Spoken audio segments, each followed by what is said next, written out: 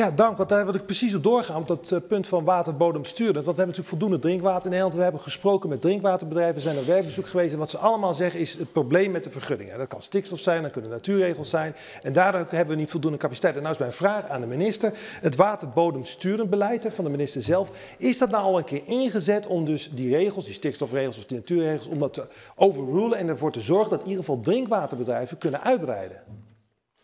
Voorzitter, er is noodzaak voor drinkwaterbedrijven om uit te breiden. Dat kan ook binnen de bestaande uh, regels. Het is heel vaak een kwestie van heel goed met elkaar kijken.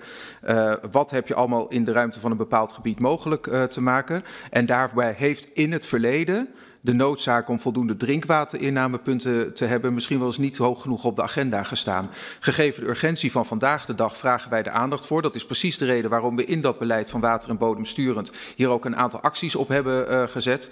Die straks uh, uh, kunnen leiden bijvoorbeeld tot aanpassing van het bouwbesluit, van het BKL, van allerlei andere wet en regelgeving. Om ervoor te zorgen dat we die drinkwatervoorziening altijd veilig stellen in, in Nederland.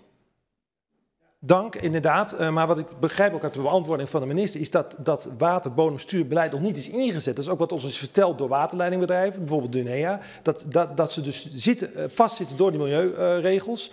Uh, en dan mijn tweede vraag, voorzitter, als dat mag.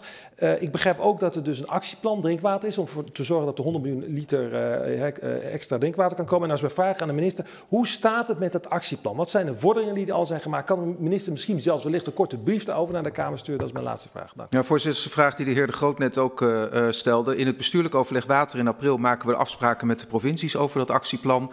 daarna is het klaar en komt het, dan zitten we in het tweede kwartaal, komt het nog voor de zomer naar de Kamer. Ja.